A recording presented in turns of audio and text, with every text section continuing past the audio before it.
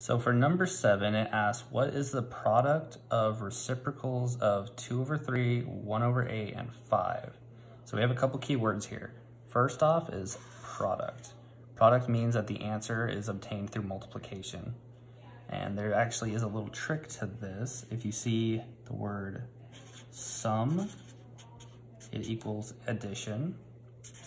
If you see the word difference, it equals subtraction. If you see the word product, it equals multiplication. And if you see the word quotient, it equals division. So if uh, you ever have a question that asks for the sum of something, it's addition. If it asks for the product of something, it's multiplication. It kind of gives you a hint on what you need to do to find the answer. And I will go ahead and put a little box around that. The second keyword is reciprocal. So what a reciprocal is, is it's just a fraction flipped upside down.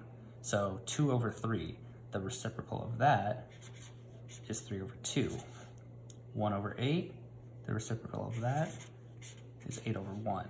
5 is the same as 5 over 1, so the reciprocal of that is 1 over 5. But going back to they asked for the product, which equals multiplication, so we're going to multiply each of these together. Anything outside of a parentheses is multiplied. So when it comes to multiplication of fractions, you just go straight across top and bottom. So 3 times 8 equals 24. 24 times 1 equals 24. 2 times 1 equals 2. 2 times 5 equals 10.